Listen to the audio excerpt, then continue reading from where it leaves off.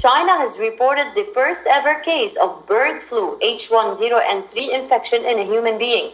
China's health authorities have said it was an occasional poultry to human transmission and the risk of a large scale spread is extremely low.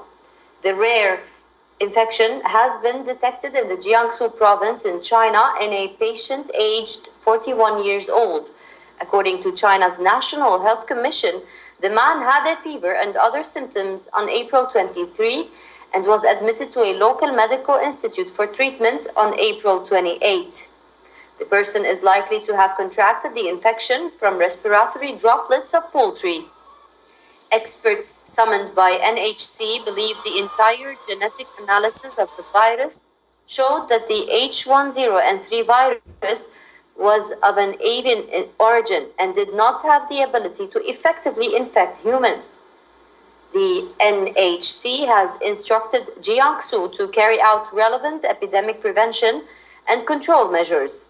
All close contacts of the patient have been put under medical observation. Local authorities have conducted emergency monitoring with no abnormalities found so far. Patient's condition is currently stable and is ready to be discharged from hospital. NHC announcement said that. NHC has issued a warning for the public to avoid contact with sick or dead poultry. H10N3 or bird flu is normally lethal to wild birds and poultry as it can spread through respiratory droplets among the animals.